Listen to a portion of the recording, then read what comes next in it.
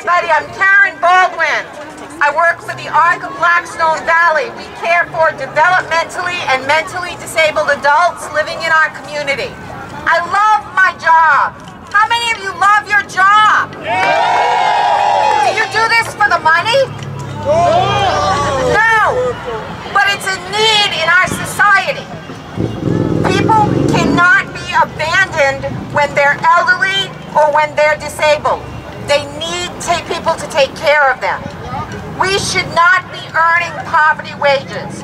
We should not be earning wages after a 40-hour work week that make it so that we qualify for food stamps and RIte Share.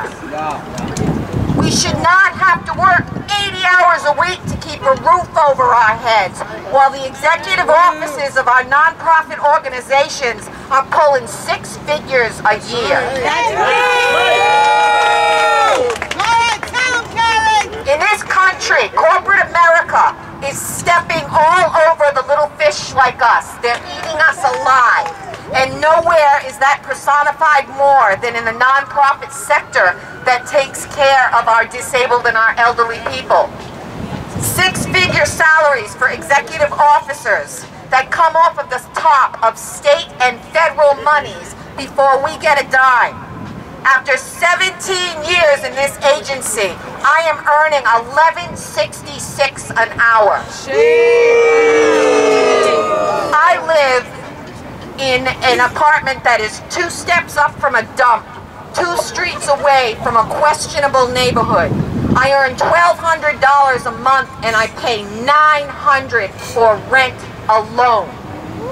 That leaves me with 300 bucks to try and survive.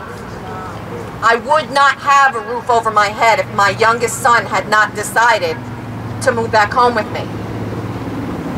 My son is working in construction and he's earning $12 more per hour than I am after eight months on the job. When I've been working for 17 years doing a community service. And we're all in the same boat. Shame! We're all doing this because we need to make a difference.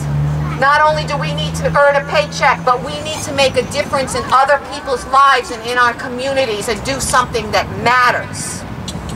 And we deserve to earn a fair wage and earn a living. We're not looking to get rich.